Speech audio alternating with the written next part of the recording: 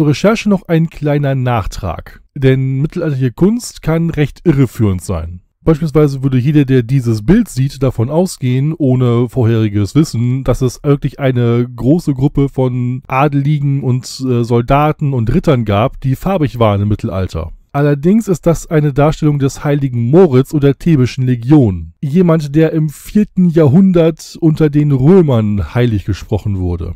Ja, es ist eine Eigenart des Mittelalters, dass man Leute in einer Tracht darstellt, die zeitgenössisch ist zu dem, was gerade passiert. Das heißt, es wurden zum Beispiel Bibelszenen oder Szenen aus dem Römischen oder dem Griechischen dargestellt, aber alle haben Rüstung und Kleidung getragen, die für die damalige Epoche, in der das Bild gemacht wurde, zeitgenössisch war.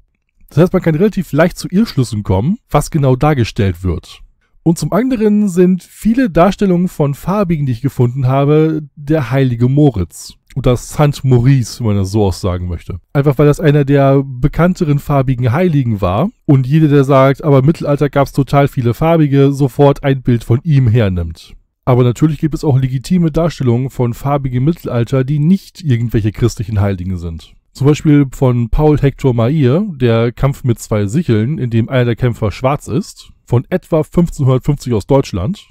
Die Markeschowski-Bibel, in der ein farbiger Ritter auftaucht, etwa 1250. Und von Clemens Specker gibt es in der österreichischen Chronik der 95 Herrscher eine Darstellung von drei farbigen Krämern, datiert mit 1479. Was heißt, ja, es gab farbige im Mittelalter in Europa, aber man muss bei Kunstquellen ein bisschen aufpassen, was genau die Kunstquellen darstellen und von wann sie kommen.